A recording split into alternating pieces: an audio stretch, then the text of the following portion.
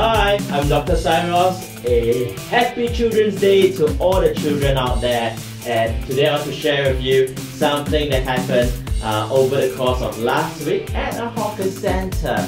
And I took some of the things along with me, and they are none other than rubber bands. Okay, so I was actually like this rubber band, uh, carrying my heavy tray of food, looking for a place for lunch. As I walked around a few times, I found a lady who immediately stood up and gestured to me to join her because she had a free seat.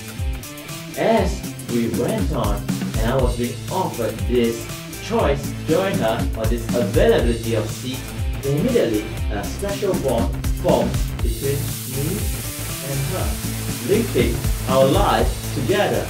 Even though to other people around, we might have been living separate lives, different families, different background, different friends, but when we share with each other, we actually go on to create this special bond, even though to others it might seem impossible, but hey, you are the building blocks and I am the building block of our community. We can change things and we can. Live immediately, anytime. So don't worry if you're separate today, that's perfectly alright. All we have to do is to take a step up, cry out, shout out, tell somebody else that, hey, you are free to join me.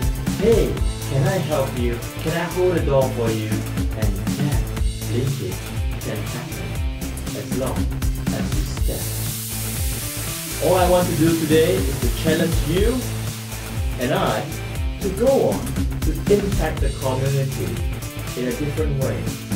One that allows us to foster stronger bonds. Imagine if everyone that you meet is not just a stranger, but a neighbor someone that can help you in times of need, someone who you know personally, where they work, what they like. Wouldn't that be a great place? With that, I thank you for watching. If you like that, please share with all your friends. Rubber bands may be common, but if you want to make friends common, we have to take a step out today. That is what I want to share today. Happy Children's Day.